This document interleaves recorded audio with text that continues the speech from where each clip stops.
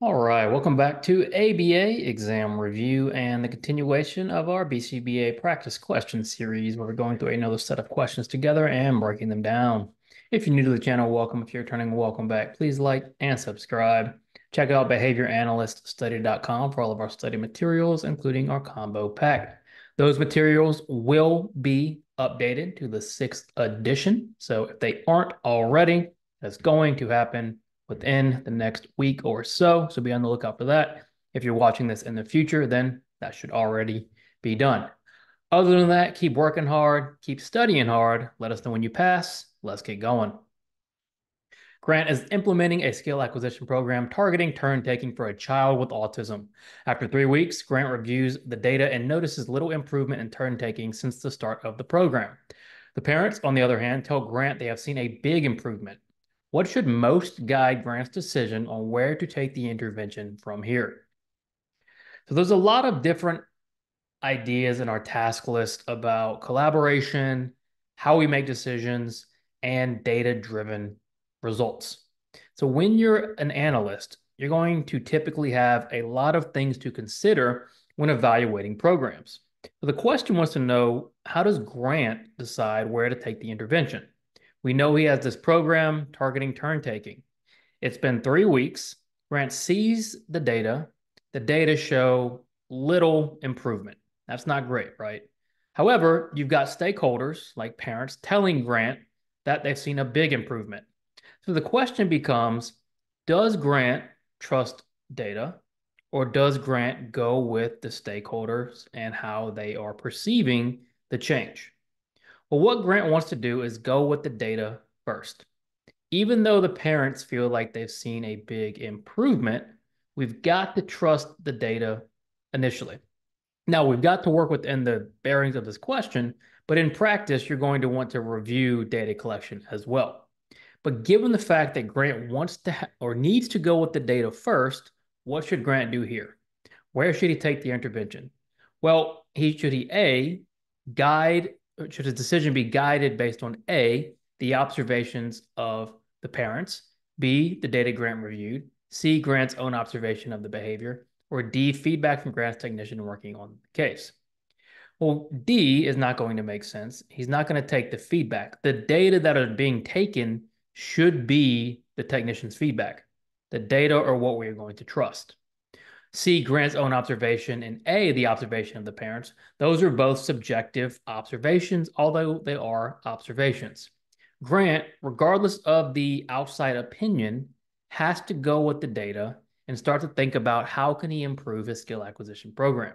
This is a difficult thing to do when you've got a lot of different opinions coming at you. That's why we always, always, always want to trust our data and use our data to guide our decision making. You, a behavior analyst, accept a case that requires specialized knowledge and training in feeding disorders. You have almost no experience with feeding disorders, but are comfortable with the behaviors that were reported. What would not be a potential risk associated with taking this case and not seeking additional training or guidance? So we have a potential risk question, and there are potential risks associated with taking cases, your treatment plans. There's always some aspect of risk, right? Our number one priority is not to do harm. So if you were to take this case and not seek additional training, what's a risk? What do we know about the case? The case needs specialized knowledge and training in feeding disorders. You have no experience, but you take the case because you're comfortable with the behaviors. What could possibly go wrong? A, there's potential risk of harm to the client if a feeding emergency were to occur. That is absolutely a risk. B, if behavior is related to feeding, then behavior planning may not be effective. That's true. If the behavior is associated with feeding, you might not be able to create the best behavior plan. C, you will develop better rapport with the stakeholders as they help you navigate the feeding disorder. That could be true, it could not be, but it's not a risk. Better rapport would not be a risk. That's a benefit. And remember, the question is asking what would not be, keyword not, be a potential risk. So for C is our only answer. D, you may harm the reputation of ABA as a profession. The task list and ethical code now discuss the reputation of ABA, right? We want to protect our profession which has gotten at times a bad reputation in the past. We want to protect our profession because we know the value it brings. In this case, what is not a risk? Not a risk is developing better rapport. That will be a benefit of anything. There is risk to harm the client. There is risk you don't know how to handle the behavior if it's related to feeding. And there is risk you could harm the reputation of ABA if you do bring harm to the client. So, what is not a risk? You develop better rapport. Tom, a behavior analyst, is tracking a client's social skills progress through observation of their interaction with peers once a week in an after school program. Tom is starting to realize the client's behavior varies significantly from week to week, possibly because peers and activ activities change each week. How could Tom improve reliability of data collection in the program? So we have a data collection question, and we know data needs to be accurate, reliable, and valid. When we talk about reliability, what are we mean? What, what do we mean? We are saying we want to be able to collect data on the same thing over and over and over again and collect the same type of data, the same amount of data, just to be able to measure what we're trying to measure repeatedly. In this case, Tom is tracking social skills through observation of interaction with peers once a week. He is seeing that the client's behavior varies significantly from week to week because peers and activities change. So if the behavior and the peers and activities are changing each week, the data aren't going to be very reliable because you're going to be measuring something different every week. How could Tom improve reliability given those facts? A, observe the client in different environments each week. Well, that likely isn't going to help the fact that things are not consistent. If we put the client in a different environment, there's a lot more stimuli, stimuli to react to. The peers and activities might continue to change, and we've just added a different variable. A does not seem to help. B, ask the after school staff to start collecting data as well. The data aren't necessarily the issue, right? If the after school staff collects the same data that Tom is collecting, they're still collecting data on a behavior that is always changing. C, standardize when data is taken on the client. This would be a good goal. Standardize when that data are taken right?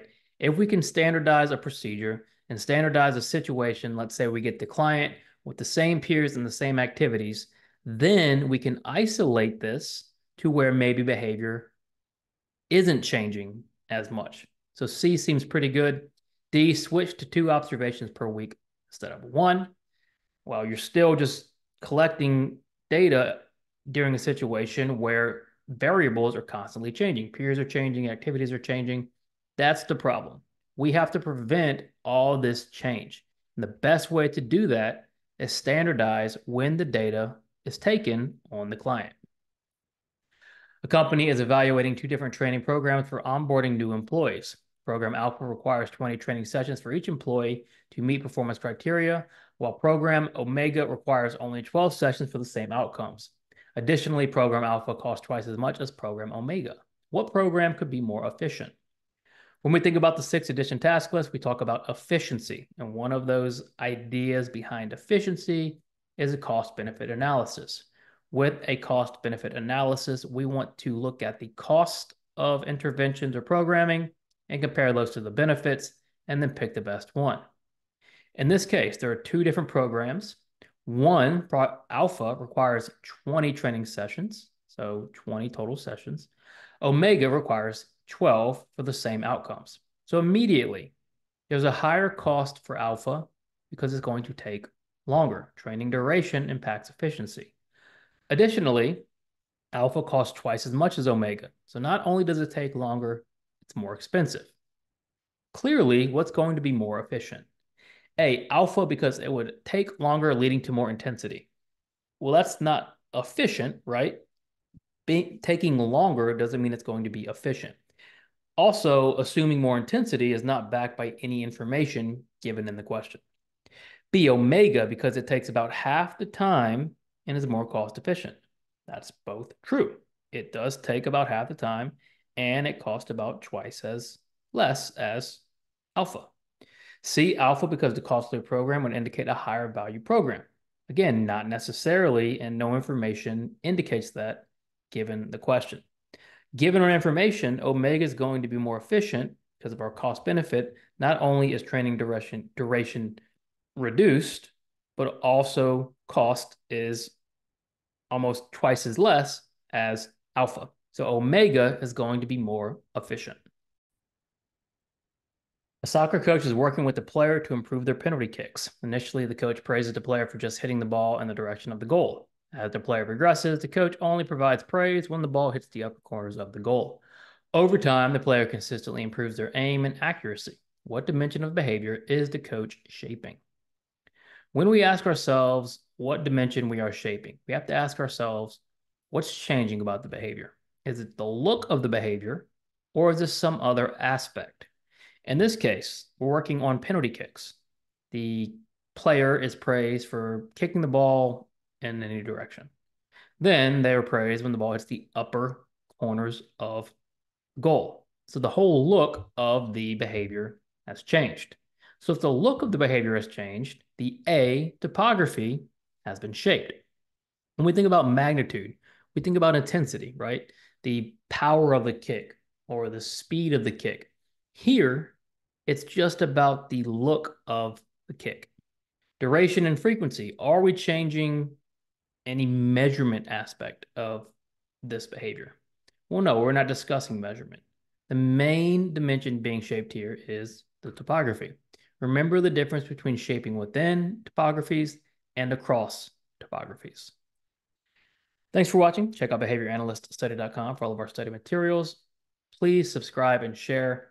When you pass, let us know so we can include you in the Sunday shout out. Work hard, study hard. See you soon.